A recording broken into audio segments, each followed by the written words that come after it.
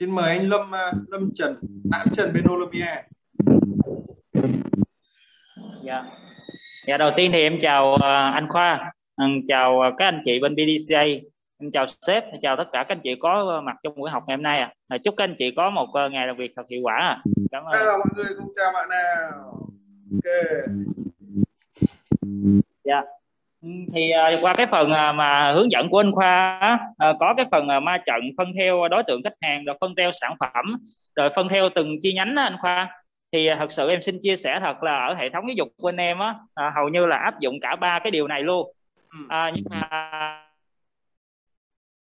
à, à, áp dụng nhiều nhất đó là thứ nhất là phân theo cái đối tượng khách hàng à, quan tâm đến cái nỗi đau khách hàng để mà đưa ra cái sản phẩm sao cho phù hợp rồi phân công đến nhân viên phụ trách cái mảng đó. Ở bên em hay dùng cái thuật ngữ là xử lý phản hồi xấu á trong trong cái cái ừ, cái, ừ, đối tượng đầu tiên này. À, cái cái rồi cái tiếp theo là về cái à, phân theo chi nhánh á, thì hiện tại bên em á, được chia theo từng cấp độ khu vực rồi. Nghĩa là từ hệ thống giao xuống cho khu vực khu vực tự giao xuống cho các chi nhánh các chi nhánh tự giao cho các phòng ban trực thuộc chi nhánh của mình.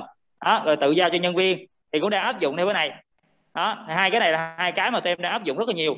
Còn cái phân theo sản phẩm á, thì tụi em cũng phân để mà chọn lọc ra cái sản phẩm nào mà mang giá trị nhiều nhất sản phẩm nào mang lợi doanh thu nhiều nhất rồi đặc biệt là đối với những cái sản phẩm mới đối với đơn vị hợp tác song phương á đơn vị mới hợp tác ở các uh, uh, địa phương khác như là thành phố Hồ Chí Minh nè đó, thì bên đây nó phân theo những loại sản phẩm như vậy và giao cho từng cái nhân viên mà uh, phù hợp với cái kinh nghiệm phù hợp với cái chuyên môn của họ họ họ giải quyết cái vấn đề đó họ nắm cái vấn đề đó giao mục tiêu cho họ để họ làm.